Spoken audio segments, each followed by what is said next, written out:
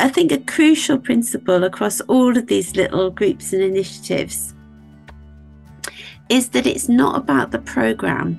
It's not about thinking, oh, here's a great idea that we can roll out and do everywhere.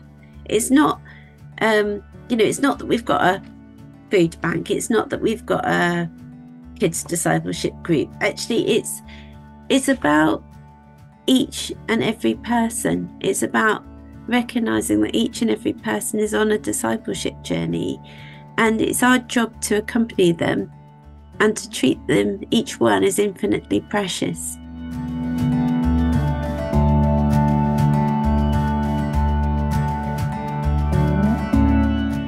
So, here in North America, we're seeing trends of religious disaffiliation that are actually already far more advanced in Europe. In spite of these changes and challenges, the Spirit of God is raising up, calling, and sending leaders, particularly lay leaders, to cultivate new forms of Christian community that meet people where they are in daily life. In today's Pivot episode, we're going to cross the pond to the UK to learn from hopeful seeds of new life that are emerging within a context where there is a long Christendom legacy, but only 8% of the current population is actively engaged with the church of any kind. You are in the right place today to hear hope filled stories of emerging communities of faith reaching people in neighborhoods and helping people discover the difference that Jesus makes. Hello, everyone. I'm Alicia Granholm. And I'm Dwight Zscheile. Welcome to the Pivot Podcast. If you're new here, this is the podcast where we talk about how the church can faithfully navigate a changing world. In today's episode, we're excited to welcome as our guest the Venerable Sally Gaze, who serves as Archdeacon of Rural Mission in the Diocese of St. Edmundsbury in Ipswich in the Church of England. Sal is the author of the book Mission Shaped and Rural and has been at the heart of some of the most creative innovation that has happened in the UK over the past two decades. Welcome, Sally. Hi, it's great to be with you. So, Sally, I had the privilege of visiting you in your context earlier this year, and I got to meet firsthand a bunch of amazing leaders that you're mentoring and to hear their stories about creative new communities that are listening and loving people in the name of Jesus, often outside of the traditional boxes of inherited church. Mm. So I knew our listeners would be inspired by hearing some of these stories as much as I was. I wonder if you could begin by describing the region you serve. What is the Diocese of St. Edmundsbury and Ipswich? That's a fancy title. Where is it, and what are some realities there? Okay, so if you think about the map of the UK, there's a little bit on the east that looks like a pregnancy bump, and that's us. East Anglia is the pregnancy bump, and and Suffolk is the bottom half of that. And it's a it's a rural area, although um, by US standards, it's quite heavily populated because you know we, we're not so sparse. You know we haven't got as much land. Basically, we're all crammed in everywhere in the UK. So rural means that um, quite a lot of our population is in um, settlements of less than ten thousand. Some some just like a hundred or even less. Um, but the, those settlements are quite, by your standards, quite close to each other. Um, so uh, it, it's it, Suffolk is Suffolk is the area that we're talking about, and it is by UK standards uh, quite rural. We've got one sort of bigger town in Ipswich, and everywhere else is rural or semi-rural, really. Sally, I'd love to hear how you got started with fresh expressions of church yourself. Well, that, that's probably going back a long way, actually. when I was um, when I was 18, I went to work for the London City Mission as a voluntary evangelist. And um, I just met loads of people for whom church didn't really quite fit where they were. And um, we we had this little system as voluntary evangelists, and there, there would there was the like the prayer that you wanted people to pray to become a Christian. and I just realized it wasn't really quite making sense for people. You know, they'd prayed the prayer, but they didn't really know what they were praying. And um and so when I started studying theology after that, I was I was really interested in um, what what you know what is at the heart of the Christian faith? And what what makes church church authentically church? Because it it seemed to me that we'd got all these sort of ideas of what it needed to be in terms of how it was led and the building and and and all that kind of stuff that didn't seem like perhaps what the church was like in the first few centuries. And um, then when I was 21 I sort of went forward for um, you know to be assessed to see if I was could be ordained and they decided that I I wouldn't be I got a no and uh, I went on a retreat to sort of recover.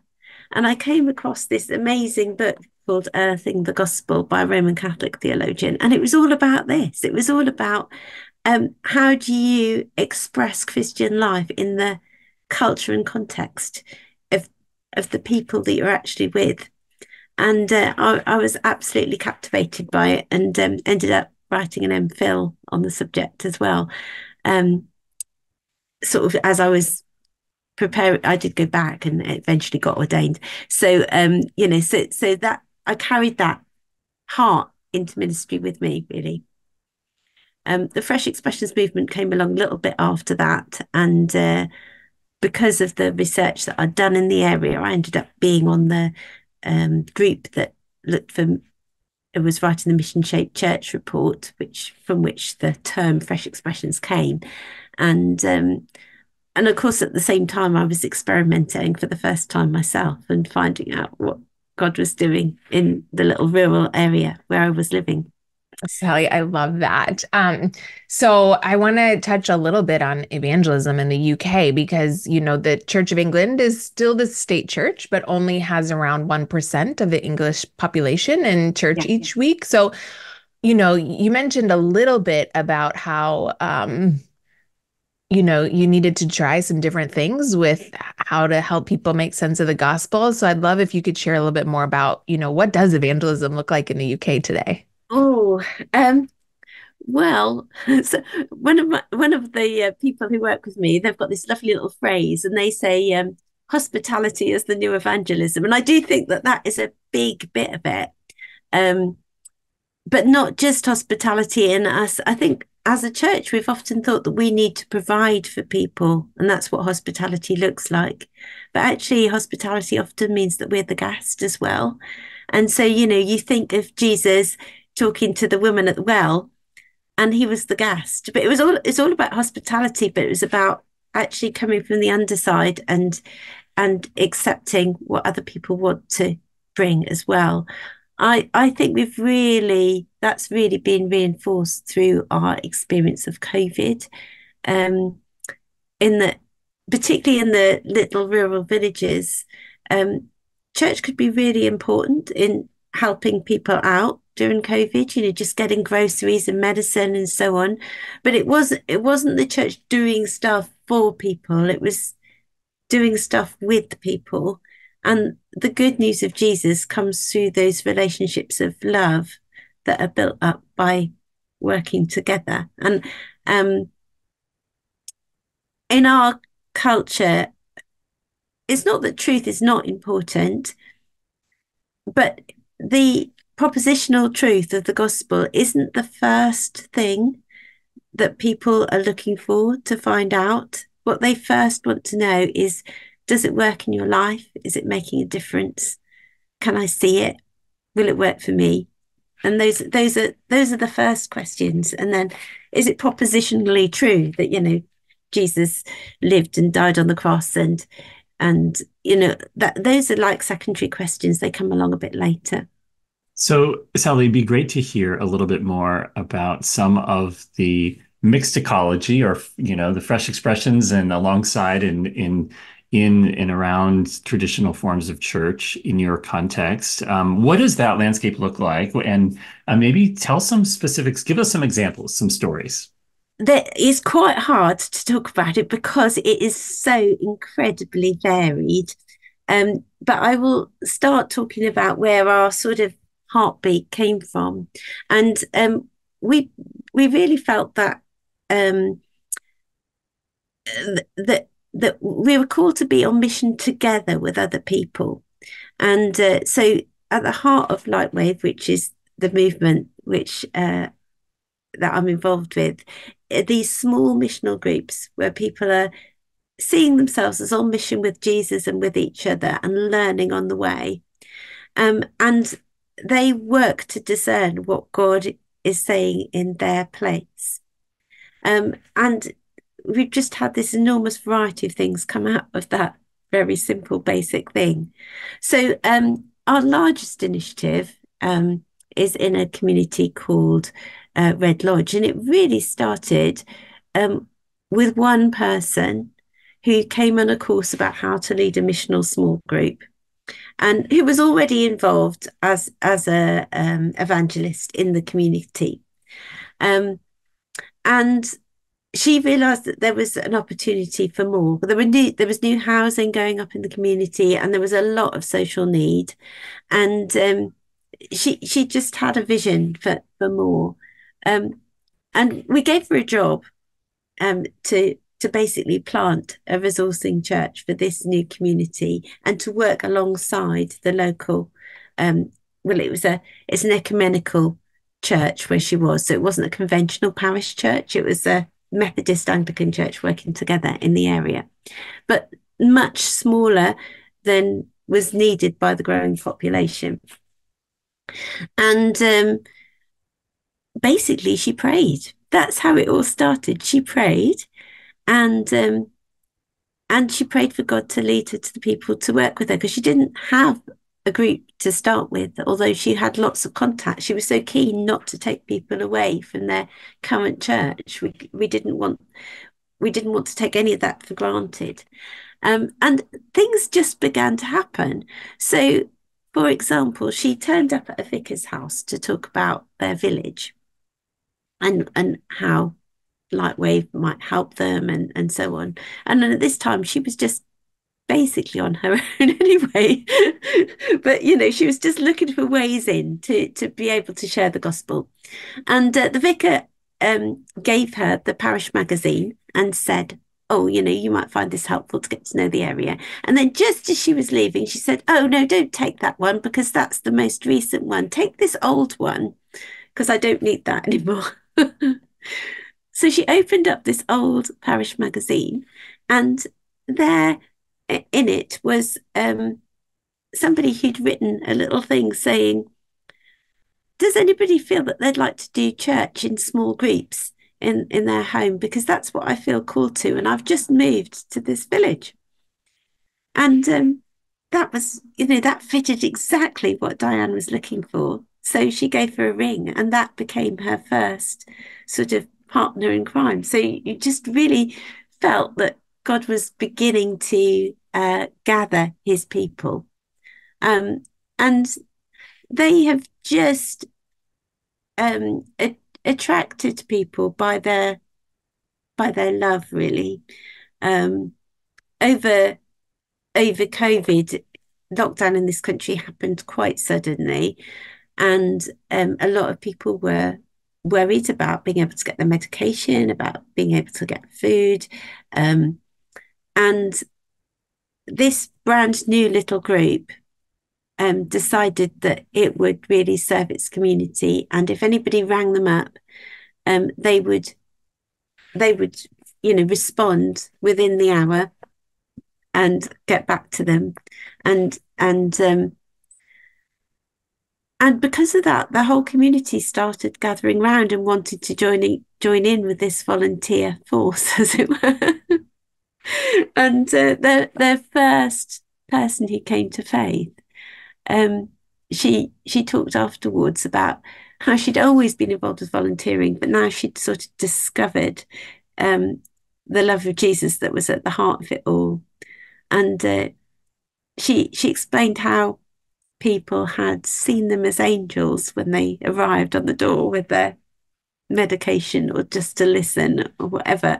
And um, and how that had just really touched her heart. And she came to faith first and then her daughter came to faith as well. And it began to to spread that way.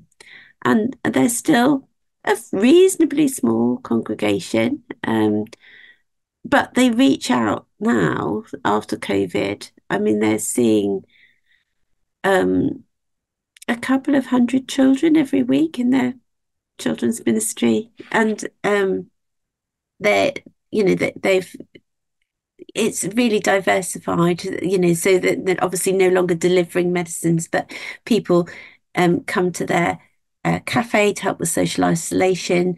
People um, get get involved with um, um, all all sorts of things. They've got a Christians Against Poverty Debt Club. Um, there's there's food banks. There's you know, and and so so the ministry has really developed as each time God has organically opened a door or a possibility. So I I had an opportunity to visit Red Lodge and to see that ministry firsthand. And what was remarkable was, um, you know, it, it, meets in a sports pavilion yeah. that is a kind of community space. It's not in a church building at all, right? It's it's really yeah. out in where, which is the kind of the natural hub. It seems like for that that neighborhood with lots of the young families moving in and sort of football fields and you know lots of youth activity and sports being kind of a uh, already a sort of natural center for the community. Um, so so that was one of the interesting things about it. So that you talked about hospitality as being guests. This whole ministry, it seems like, is about being a guest in a neighborhood space. Oh, absolutely. And it was at the beginning, it was quite a heartache actually, because when you're in somebody else's space, there are so many limitations as to what you can do. And um, constantly having to set up and take down and set up and take down all their equipment for various things. But it it has built, you know, being there has built relationships with um, you know, the, the leaders of the local community. And it also means that um there's quite a lot of very basic level volunteering that's needed. And that can be really helpful you know, um, to be able to accept people's offer to help, you know, put out tables and chairs can be really helpful. And there were there was one guy from there who who um who said to me he'd been to prison, and he said uh, when when you've you know come through the system as I have, he said people don't want to trust you, they want to help you, but there's nothing you can do for them. And he said, Here, I'm, you know, I'm part of the family. Here, I can contribute. And it was giving him back his sort of self worth and self respect. Um, and he did, he, he wasn't a Christian at the time he shared that with me. Um, but he, he, he has now come through and come to faith and been baptized and is uh, is not living in that that particular area anymore, but is going on with the Lord in another church. So it's um but it was really um touching to me that the importance of allowing people to volunteer as part of their faith journey. And uh, Di, the leader there, she she has she's full of great little phrases. Um, so another one of hers is, um, you know, you're part of the family when you're allowed to put out the bins and uh, I really love that. I love that too. And you know, so one of the other things that that was really interesting as I visited that community, I think we were there on a Friday night and there was some youth stuff going on, is both the combination of on the one hand, um, the first thing that people encounter is um, hospitality and love and listening around mm-hmm. some need. So whether it be food or opportunity just to connect for people who are lonely or you know it's it's some need that people have. Yeah. But everything also has a very explicit christian dimension to it. And you know i think often in the us a lot of churches struggle with uh, they want to love their neighbors you know serve their neighbors maybe through food or hospitality or just gathering. But um, sometimes they also then are not so clear about okay we, we want to connect this actually to christian faith. But but there are some interesting ways that um, you all have developed and Di particularly has experimented with around doing that. And and one of the um, ways is around conversation spaces and gathering people in the context of you know, of whether they're eating or whatever, um, to to do some spiritual reflection. And I'm curious if you want to say a little more about what that looks like because it's it's explicitly spiritual, but it's also very inclusive and welcoming. Yeah, so they have a little thing called breakfast chat, um, which is, you know, they just serve breakfast and then there is a question on the table. And, you know, it could be something really simple like, uh, what are you looking forward to about Christmas? I mean that that I can remember that being a really powerful one that came up for someone because somebody, you know, shared that actually they weren't looking forward to Christmas. And then, you know, a whole load of things came out of that where, you know, where they were able to be um, you know, welcomed and given a community to share Christmas with. But um it's it's it's those very open kinds of questions and feeling that everybody has got something to um, be able to contribute in that situation. And um, they're not the only um, group that we've we've had that does that as well. There's one a few villages away, um, in a very tiny village where there hasn't been the new housing or anything, and they just met with um, 15 people. And, and they, they would have cucumber sandwiches with the crust cut off, you know, and a nice little, you know, and tea with you and and cake. And um but rolled up very neatly on their china plates would be a little question that they could discuss together and it was really interesting um that it that after a while it was the people themselves who said um why why do you um never ask us a question about prayer? So they'd ask very general questions um that they'd taken from uh the National Health Service, our National Health Service, has apparently got some areas of spirituality, and they'd use these areas of general spirituality to concoct these questions. And um, but then it it came you know, from the example of the people that were there, the the questions came out. Well, why don't you tell us about prayer and about what you believe? And and so th- then there was an opportunity to go a bit further. Um, and I, think a crucial principle across all of these little groups and initiatives is that it's not about the program. It's not about thinking, oh, here's a great idea that we can roll out and do everywhere. It's not, um, you know, it's not that we've got a food bank. It's not that we've got a kids discipleship group. Actually, it's it's about each and every person. It's about recognizing that each and every person is on a discipleship journey, and it's our job to accompany them and to treat them each one as infinitely precious. And um, I think it really helps us that we're in a rural area because we're not, you know, if you're in an urban area, you you can look and you can think, oh, if I put this on, you know, hundred people will come.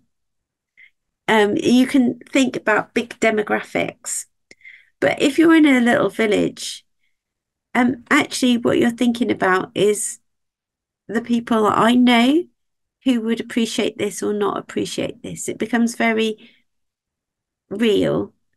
And and so often the discipleship journey is around, you know, what Jason or Tim or Claire, um, what they want to do, what they feel their next step is.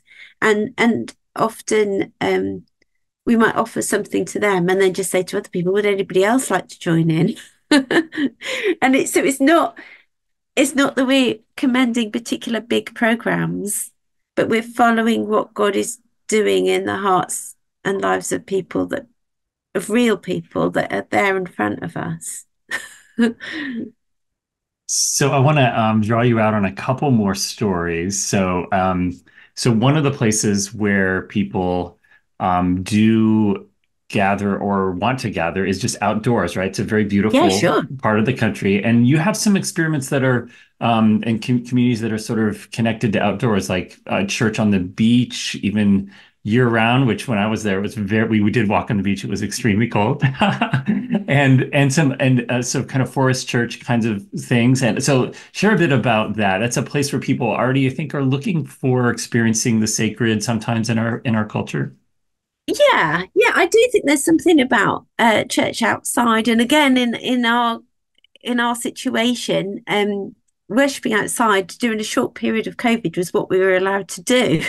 you know, because you could like be distanced from one another, and so uh, a lot of stuff sprung up then. But um, yeah, so we've got one one particular group called um, Spirit Lightwave, which is founded in a tiny village, and and they they they basically do some kind of outdoor activity every every month, and it will be um, walking uh, Palm Sunday, they decided to walk around um, a lake with a donkey, you know, and and tell the Palm Sunday story. And um, it's interesting when you're walking with people how the conversation really flows. Um, I I joined them um, at, at Epiphany. Um, there is a sort of continental tradition, which I don't know whether you have as well, but of um, chalking uh, the lintels of people's houses at Epiphany. You do have that as well, yeah. And so, and um, so the leader of this group had publicized in the village magazine that they were going to come and anybody who wanted their house blessed with an epiphany blessing could have their lintel chalked and they could have a blessing said over their house and um, you know people just did volunteer, and and then and then a group came. Um, it was only about fifteen people walking along, and stopping, praying a prayer of blessing, um, and then walking on to the next house. But it was very much building community, um, and making a real difference to the people in those houses. Uh, I mean, one particularly um, somebody who'd been bereaved, you could see it, it made a huge difference to have their house blessed at that time, at that particular time, um, when the house wasn't as full as it used to be. Um, and and and it, it sort of you know it, it it models this evangelism being um being to do with hospitality as well because they were in a, in a strange way, they were both host and guest at the same time because each house was welcoming them, um, and and they were but they were bringing this blessing with them, um, and yeah, so so I think it, it's and we have another group that that goes on uh, walks and always ends up at the pub, and they've formed a real relationship with the pub where they you know have um questions and discussions in this particular pub over food on a regular basis. And that group is in an area where there's a small amount of new housing, um, but it's been great to have that sort of uh, pub and those walks to invite people to. Um, so yeah, they'll take round. They they go and knock on the doors of people moving into the new estate, and they'll take with them a spider plant, just as a housewarming gift, a, a little card saying, you know, these are this is what's going on in your local churches. But then they'll also invite them to, you know, a walk or a, a meet up down the pub, which is really great when you're moving into a new area because you just want to meet some friendly neighbours. and so that's really worked well as well.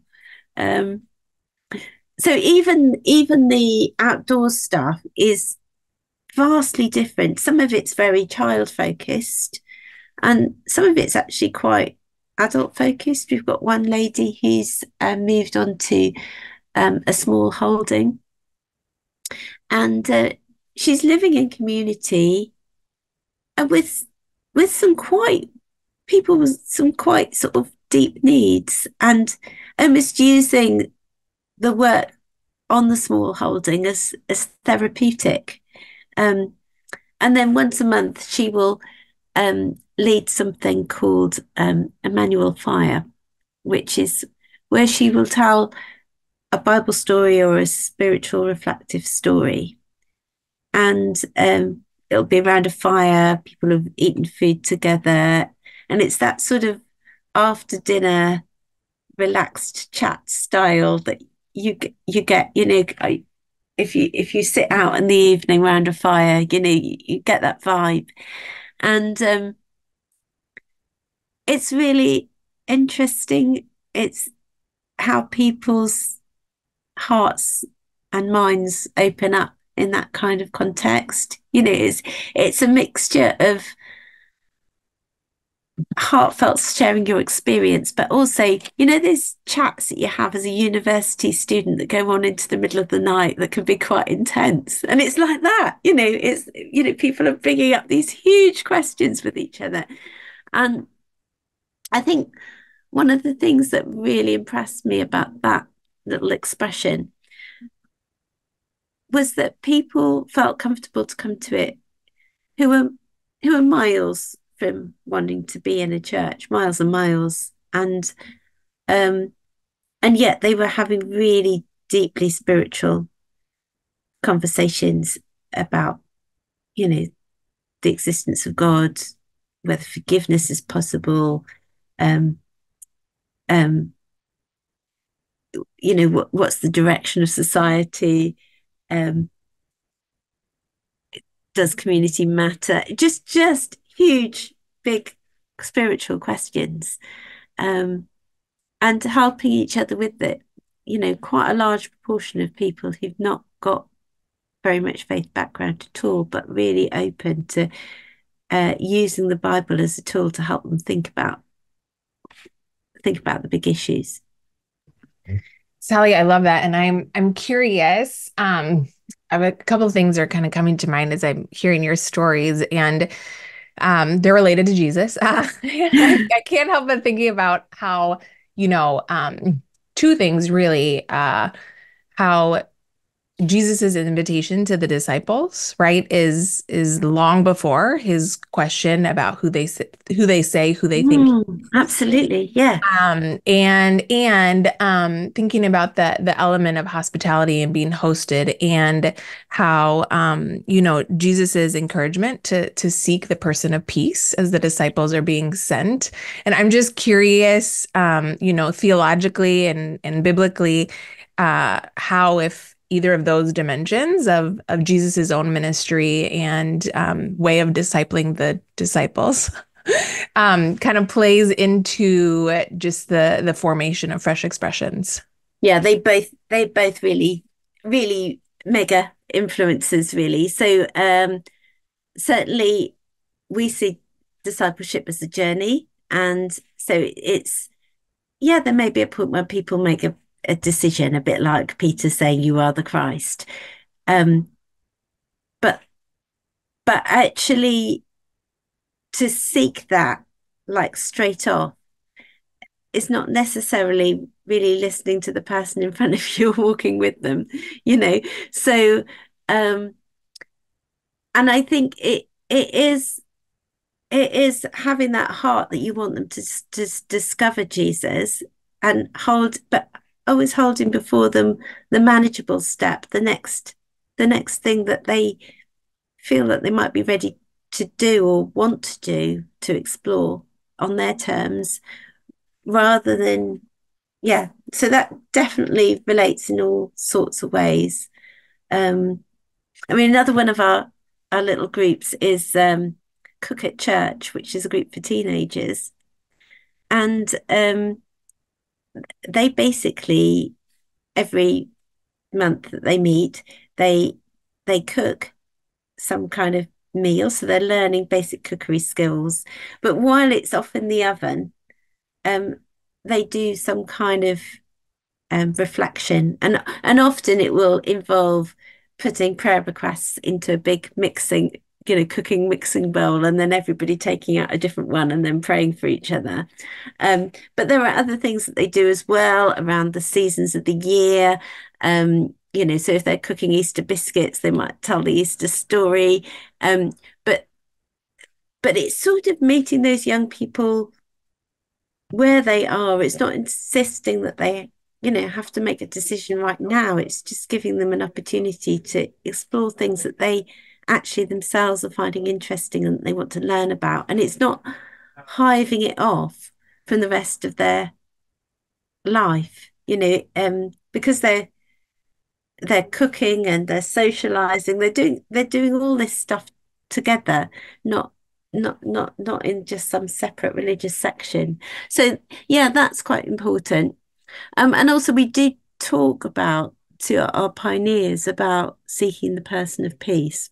Um, so you know that's the the idea in the gospel is that um, as you go out on mission, somebody will say, "Come and come and stay with me," and and that when they when you get that kind of invite, you go, "Yes, please." and you stick with them. You don't you don't think, oh, um, I better spread myself around. You you recognize that God's at work in that person's heart and you and you stick with them. And I think that that is um that that that sort of relates quite closely to seeing the actual person rather than seeing the program or you know and I mean I think often in a village you will encounter somebody who wants to open a door for you. I'm I'm I'm actually I'm thinking of something from before from my previous ministry when I was a vicar. And there was this one young woman who who wasn't a part of our church um but we had a, a, a group of mums who were new Christians, and they would organise, um, you know, one of these events where you packed a shoebox for a child at Christmas.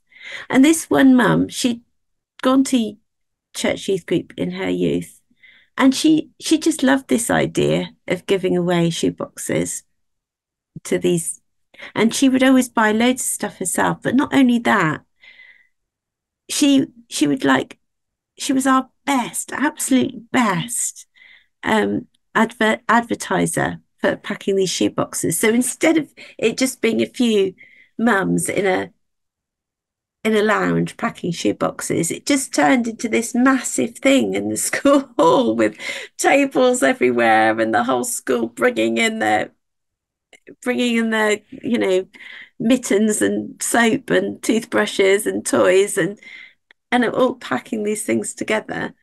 And she was a, a real person of peace. She did the same thing for our holiday club in the summer, our gospel holiday club. She did the same thing. She wasn't yet fully sold on Jesus herself, but she saw so much good in it that she she wanted to open the door for others and she constantly did. I love that, Sally. Um, okay, so who exactly leads these communities and how are they trained to do so? Okay, well, it is a real mixture, um, but mainly it's lay people. Um, and even some of our um, paid people have been lay to start with. Sometimes they become ordained along the way, but you know, um, but mainly it's it's it's the sort of person that you might think, oh, they could lead a home group, you know, that they, they would they would lead a Bible study or that that kind of, you know, a committed someone who's really committed in their faith, um, but ha- who has a real heart for those outside the church and is not too attached to doing things in one particular way because you have to be quite flexible around um, what the people that you're reaching really want and to, to listen to them. So yeah, it's it's a whole variety of people. We have a little scheme actually called Rural Outreach Pioneers, where if somebody is um, doing some kind of outreach and it's successful as as a layperson, they can apply um, for um, money to work one day a week to increase their the time that they can give to that ministry.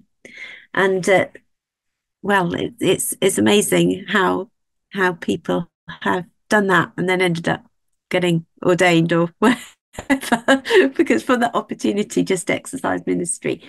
So how do they learn? The biggest way of learning, the most important, is to learn um, by walking together with a group on mission with Jesus. That is the absolute biggest thing, far above doing a course or anything. It's about um, not doing it on your own, but doing it. And most people who've learned to be a leader in this have possibly started by by being in a group where somebody else is leading and and they're sort of being apprenticed. And i mean that's very jesus model isn't it? That's what he was doing with his disciples and that that's what we're seeking to do really. Um and some sometimes it can be a little bit you know you, you, you develop a group and then you think oh it's just got it where we want it and so you know i can i don't need to be quite so on it because i've got this brilliant other leader now. And then once they get to be a leader they suddenly have a vision for what god wants them to do. And then they're off doing that thing and you you have to build up another leader. So um but that's sort of the model.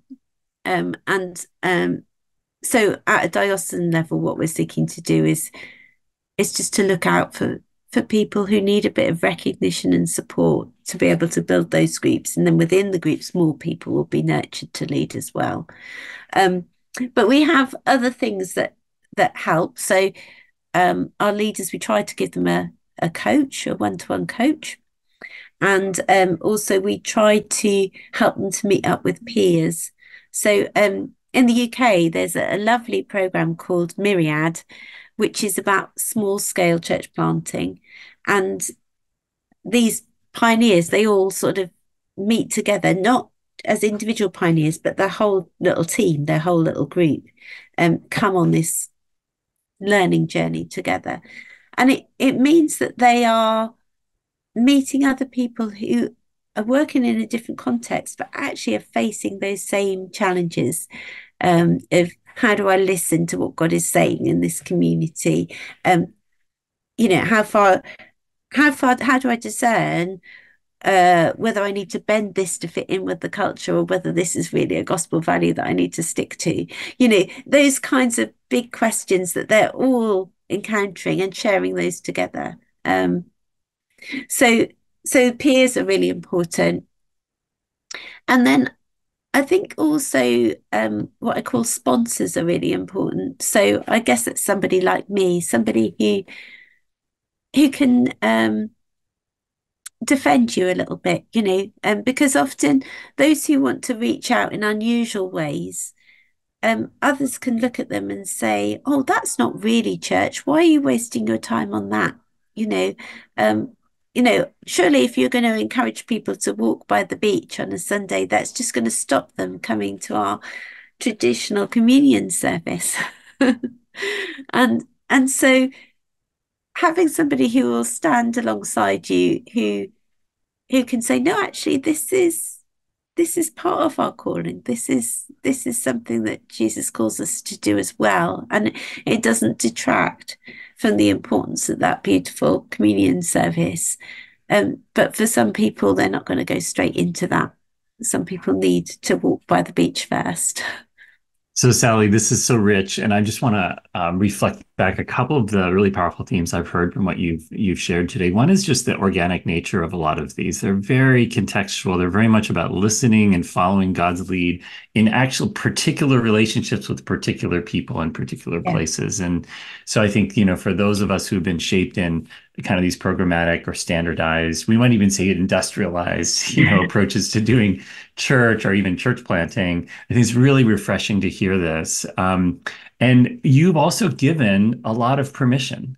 You know, it sounds like within that that church system, people have um, the encouragement to actually follow how the Spirit is leading on this, and then the recognition of of their leadership at whatever level. And that's another thing I think that so many of our churches struggle and church systems struggle with is giving that that permission and sharing that imagination. So I think that's so powerful.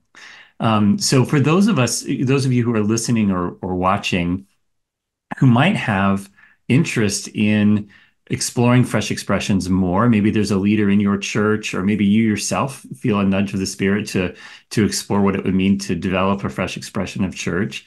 Um, we have an on-demand course on faithlead.org that uh, walks you through the basic steps of starting a fresh expression of church. And so you can find the link to that course in today's show notes. Um, but sally thank you so much for the wisdom that you've shared and the amazing work that you're doing well, thank you for thank you for having me. It's really been I mean it's been great um, meeting you both and and knowing that, you know, God is doing very similar things by his Holy Spirit in your part of the world as he is in ours. Sally, we have loved having you today. And listeners, thank you so much for joining us. We hope that you found this episode inspiring and encouraging. And we'd love to have you join us again next week as we take another dive into how the church can faithfully navigate a changing world. Alicia Granholm and Dwight Zscheile signing off on another episode of the Pivot Podcast. We'll see you next week.